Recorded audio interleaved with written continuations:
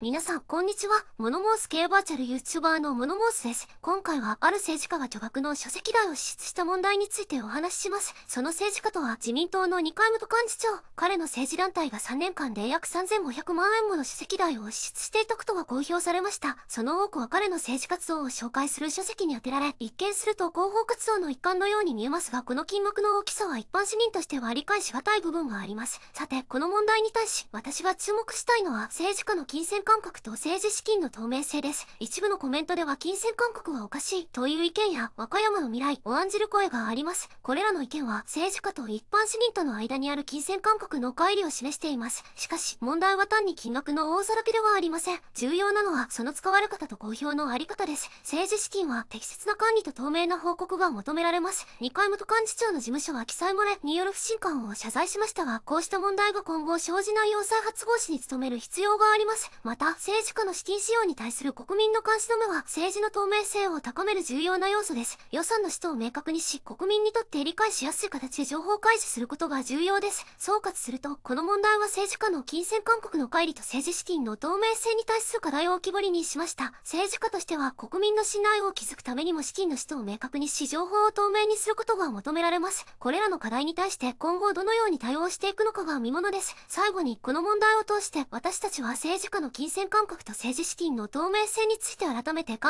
えさせられました。皆さんもぜひ、自ら情報を得て政治に対する意思を表明してください。それでは今回はこの辺で、モノモースでした。